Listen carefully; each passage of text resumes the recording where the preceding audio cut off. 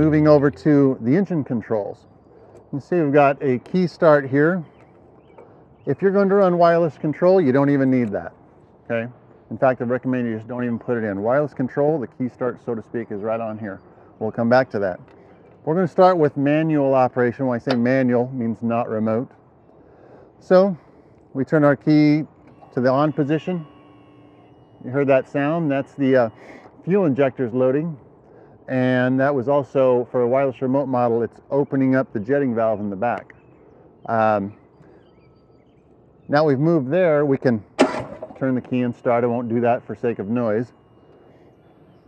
Just like you're starting your car, um, it's a fuel injected engine. You don't have to pull a choke or anything like that. It can start dead cold, uh, even with the wireless remote control. Or if you've got a propane model, that's a pressurized fuel system also. So again, no choke. Uh, on your manual jetter, if you do not have wireless control, like we showed you a moment ago, for throttling, you're going to have a lever arm here, throttle up, throttle down. Um, on a wireless model, when you're running in manual mode, okay, not with the remote, you're going to be throttling up and down with this toggle switch. Each touch is going to give you a few hundred RPM. If you just hold it down, it's going to max out at full throttle and you can't really go over, okay? And then you can just hold it down to go down to idle if you wish. Pretty straightforward.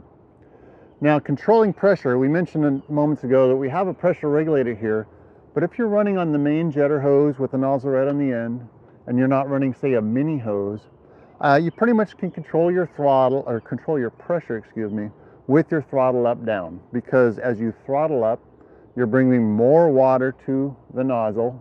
The nozzle is the main point of resistance that creates pressure. So the more water we put up against that nozzle, the higher the pressure becomes. So very simply, the easiest way to adjust pressure is with your throttle. Throttle up for more pressure, which at the same time is more flow. Throttle down for less pressure, less flow. And um, just to make the point on the gallons per minute, when you turn the jetter on, it just doesn't suddenly create, in this case, 12 gallons at 3000 PSI. It builds it up. When you go to full throttle, full throttle is full gallons per minute. Half throttle is half gallons a minute, right? Zero throttle is no gallons a minute. It's off. Okay? So as you're raising flow, you're raising pressure at the same time. Okay? It's not a compressor. You don't turn it on and it builds up a bunch of pressure and you stick it in the line and release it. No. Uh, it's a hydraulic system, so it builds pressure based on pushing flow to the resistance of the jetting nozzle. Now, for those of you that have wireless remote control, let's talk about controlling the throttle and everything with that. So the first thing I need to do is I'm going to take the key out so nobody gets confused and tries to turn the key on and off. I'm just going to get it out of the play. And I need to next turn my remote switch on. Hear that valve in the back? That's the wirelessly controlled jetting valve getting set in the safety position. Back over here for a moment. When we take this valve and have it down, we call that the safety position. But if I'm going to jet wirelessly, the machine automatically put the secondary valve in safety. So now I bring this one all the way up so I can control my jetting right here.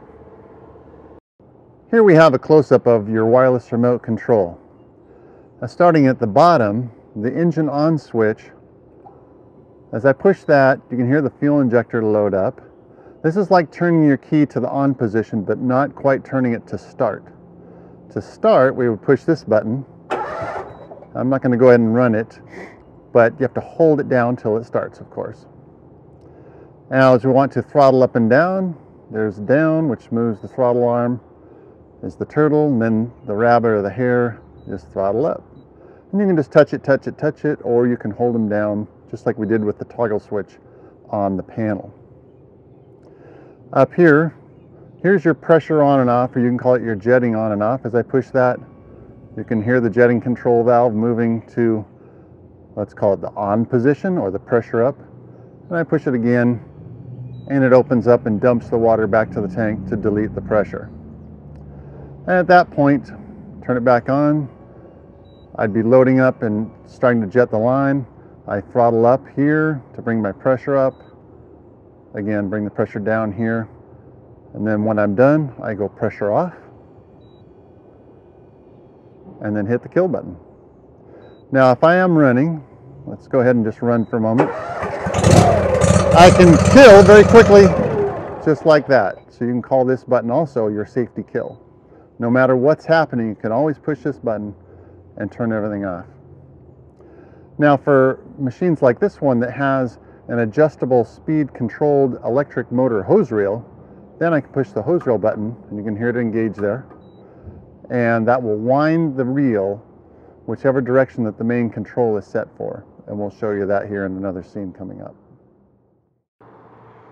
Okay, now we've shown you the remote control. When you're done jetting, or if you're gonna go back to manual control with the key, you want to turn the remote system off, and that also will keep it so there's no draw on the battery and you know say you've got it set aside for an overnight or you haven't jetted for a week we want to make sure this is off we also for safety's sake want to take our main jetting control valve flow control valve back down to the safety position and it's been very important with this valve to make sure it's all the way down or when you're jetting it's all the way up people wear these out prematurely by leaving say about 90% up and it's weeping water past the seats in the valve at high velocity, which wears it out quickly. So when you're jetting, this goes all the way up.